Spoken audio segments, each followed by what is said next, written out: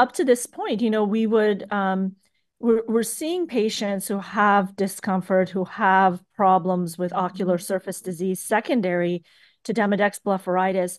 Um, until recently, you know, our treatment options have been limited. So I would put patients on uh, uh, tea tree oil-based uh, wipes and have patients do this two or three times a day, basically indefinitely, just to keep their mite load at bay. Um, what I found was that the compliance was very, very poor, very difficult for patients to continue that treatment, and not very effective. So we might have gotten a little bit of a decrease on the mite count, but it really never um, went away to a meaningful amount. Um, what other treatment options were you using, Eric, in your treatment of these patients? Well, I agree with you completely, Marjan. Tea tree oil was kind of the standard that we used when we didn't have anything that was FDA approved, and um, it was toxic and irritating, and you had to get to a certain concentration. We used ivermectin as well. Uh, I used uh, blepharoexfoliation exfoliation to remove them as well, and some people were using these medications orally as well as topically. Um, I don't think that any of them were really all that satisfactory in managing this disease. And now that we have an FDA-approved product, not only do we have the knowledge that it's FDA-approved, but just it's extraordinarily more effective than anything we've had in the past. So sometimes you have an FDA-approved product, but it's not really better than what we used previously.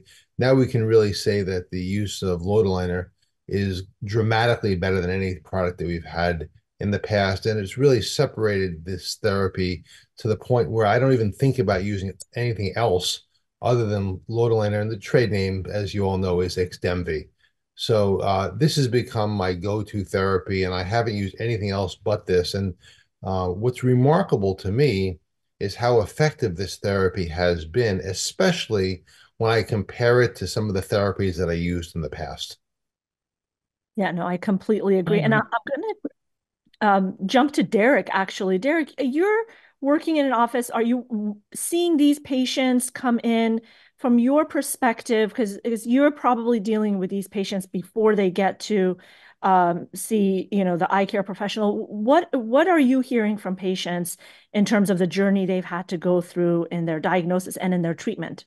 Well, I think more recently it's been a little easier when we hear Uh, the symptoms the patient has or the complaints they have, because we know there's an actual treatment for it.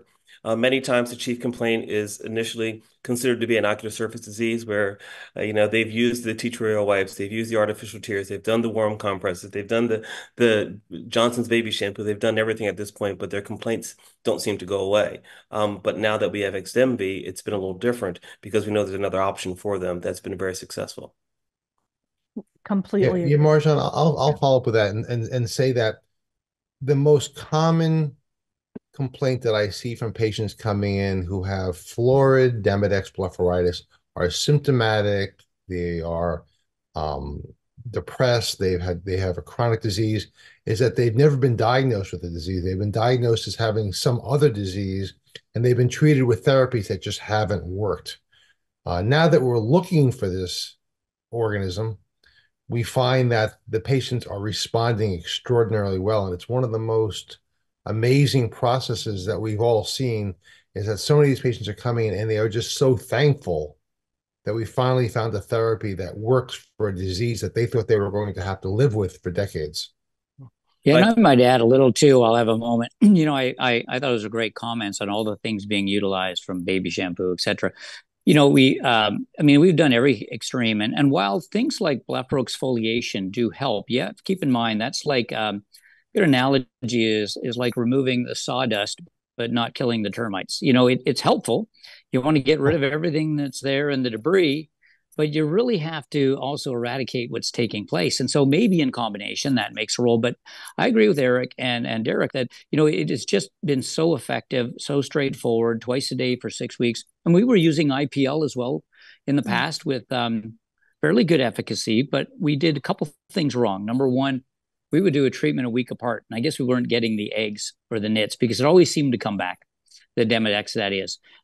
Or and it was costly. It was a very costly option compared to a therapeutic now. um, that we have that does a much better job, as Eric described, when it comes to Demodex management. Yeah, no, that's completely and and actually I was going to jump to you, Paul, in terms of, you know, in an optometry setting, um, how often is it impacting uh, patients who are, you know, contact lens wearers who are, you know, in this population of patients, uh, patients who ha who can't wear their contact lenses anymore, and what is the process they have to go through to get diagnosed? Are they getting diagnosed, and then are you able to get proper treatment to them? Well, my clinic is 100% referral. So I, I a very advanced ocular surface disease clinic, but I can comment on this because they're referred from colleagues and, mm-hmm. and ophthalmology colleagues as well. But a lot are from optometry colleagues or rheumatologists or others. And, and although rheumatology is usually sending Sjogren's, not Demodex, the optometry colleagues of mine are sending uh, a fair amount of these patients over. And it's fascinating because for years, these patients would come in with a dry eye diagnosis or contact lens intolerant, and I was surprised how often we saw Demodex blepharitis. To your point, now fast forward to today, and, and credit to um, you know educators and to the company.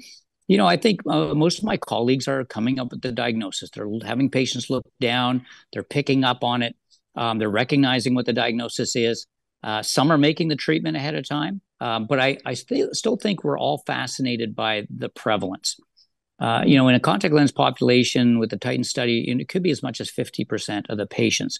And I believe that if you took contact lens intolerant patients, that number is going to be far higher of a percentage. It may well be one of the most common causes of contact lens intolerance, uh, but we'll have to study that for verification. So, uh, yes, I think that's a common patient population who are having trouble maintaining their contact lens wear, and doctors are starting to pick up now on Demodex. And the nice thing about a BID drop or twice a day for six weeks is you could use that with contact lenses before and after.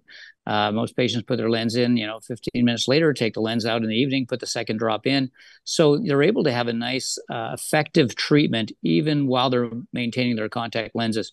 So uh, yes, I think it's a major factor in, in the general patient population. And optometry, you know, is seeing over 80% of the of the primary eye care visits. So they should be seeing 40 to 50%, somewhere around 40% of these patients should have, you know, Demodex, or as the Titan study said, you know, 58%. But if they're seeing 80% of it, it should be about 40 out of 80 patients. And that is a, a, a large population of the general. And I think that's important because while we might expect it in rosacea, we might expect it in dry eye patients. This is general patients coming in for cataract evals, glaucoma, dry eye, contact lens wear, spectacles. And that's the major point. It's prevalent in all those populations. Hey, Absolutely. Marjan, can I jump in really quick and yes, ask Paul a question? Absolutely. Uh, so, again, just from a payer perspective, I, I know again I'm jumping the gun here a little bit, but would you say that this is a specialty disease state? So you're saying you get a lot of referrals from, I'm assuming primary care or, or optometrists or something like that. Is or so is this something that should be treated at that level, or is this something that can be diagnosed and treated more at the primary care level? A really good question, Jeff, and really important. This is a primary care level treatment. I think my clinic is obviously very secondary uh, care because of the referrals. Patients 100% have to be referred in. I have over 600 positive diagnosed Sjogren syndrome patients. So just trying to put it in perspective of the type of patients that are referred in. Uh, a large percentage of ocular graft versus host disease. So I think the you can have a secondary care cornea ocular surface disease practice, um, which you know I do, Eric, Marjan, a lot of us do um, in that area uh, as well. But I do think when it comes to just Demodex, um, for years, those were the patients that were referred into referral clinics because the diagnosis wasn't made. They, they thought it was dry eye. And so they showed up. But today, with a first line therapy, I really expect this to be treated at the primary eye care level. But, you know, I'll go even further and, and make the statement that Demodex blepharitis is the single most common uh, medical problem that presents to optometrists and ophthalmologists office. So this is the number one reason why patients are coming to our offices. They just haven't been diagnosed in the past. With better education and with seminars such as this, I think our colleagues will be diagnosed in this routinely, and uh, it, it, it's extraordinarily important. Um, I've said this before to Marjan, but one of my favorite sayings is by Mark Twain and that was that it's not what we don't know that gets us in trouble. It's what we know for certain, but we're wrong about that gets us in mm-hmm. trouble. And that's the story about Demodex blepharitis. We didn't know the the pathophysiology of Demodex and how significant it was. And we didn't know how common it was because we weren't looking for it. Yeah. Now that we look for it, it's been hiding in plain sight. It's been there all along. We've missed it. And I believe that Demodex blepharitis is the missing link in the management of ocular surface disease.